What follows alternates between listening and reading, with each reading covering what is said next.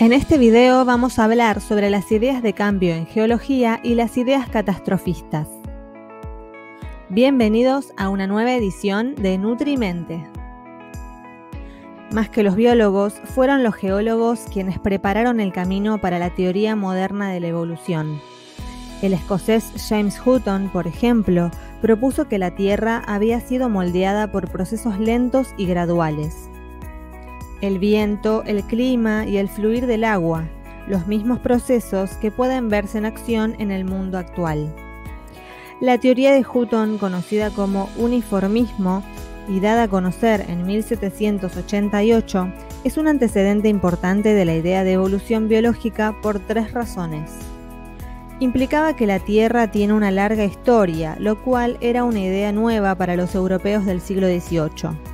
Los teólogos cristianos al contar las generaciones sucesivas desde Adán, tal como las registra la Biblia, habían calculado que la edad máxima de la Tierra era de unos 6.000 años. Según sabemos, desde los discípulos del filósofo Anaximandro, cuya escuela sostenía que la Tierra era infinitamente vieja, nadie había pensado en términos de un tiempo mayor. Es evidente que 6.000 años es muy poco tiempo para la ocurrencia de los grandes cambios evolutivos necesarios para explicar el origen de toda la biodiversidad, más allá de cuál fuera la teoría propuesta. Además, el uniformismo afirmaba que el cambio es en sí el curso normal de los acontecimientos, en oposición a la idea de un sistema estático interrumpido por un hecho ocasional e inusual como un terremoto. Por último, si bien no fue planteado de manera explícita, las ideas del uniformismo sugerían que podrían haber alternativas a la interpretación literal de la Biblia. Al mismo tiempo, durante la última parte del siglo XVIII, renació el interés por la interpretación de las evidencias de las formas de vida que habitaron la Tierra en el pasado, es decir, por los fósiles. El anatomista y naturalista danés Nicolas Steno trató de comprender la naturaleza y los procesos de formación de los fósiles.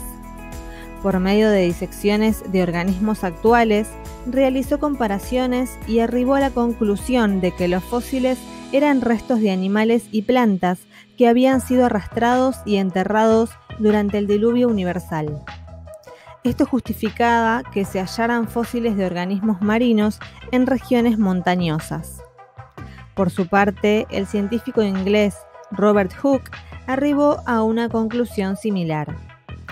En esta etapa, la ciencia de la Tierra comenzaba a transformarse en un estudio del cambio de la vida a través del tiempo, más que en una mera catalogación de los tipos de rocas.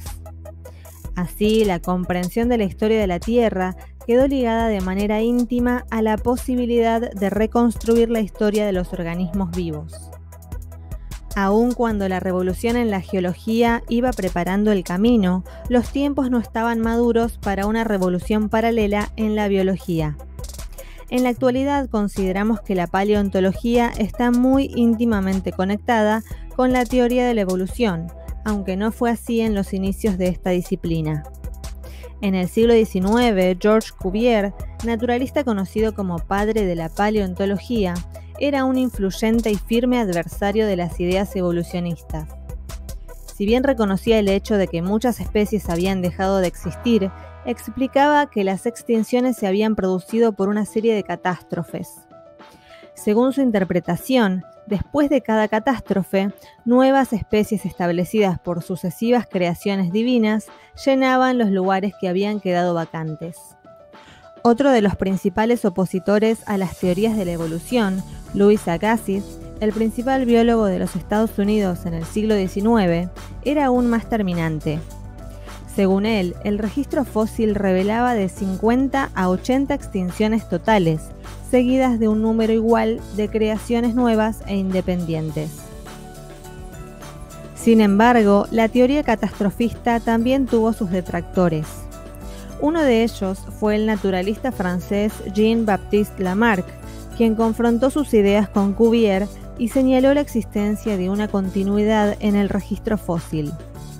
Más tarde, el geólogo inglés Charles Lyell, retomando las ideas de Hutton, propuso una visión de cambio gradual y continuo para la historia de la Tierra, en claro contraste con el catastrofismo. En el próximo video vamos a profundizar en las ideas de Lamarck. Si este video te gustó, por favor dale like y también te invito a compartirlo y a suscribirte al canal para tener a mano mucha más información. Si querés apoyar al canal y tener acceso a más contenido, además de los videos de YouTube, te dejo diferentes opciones en la descripción de este video. Te invito a seguir aprendiendo, porque lo que sabes influencia tu destino.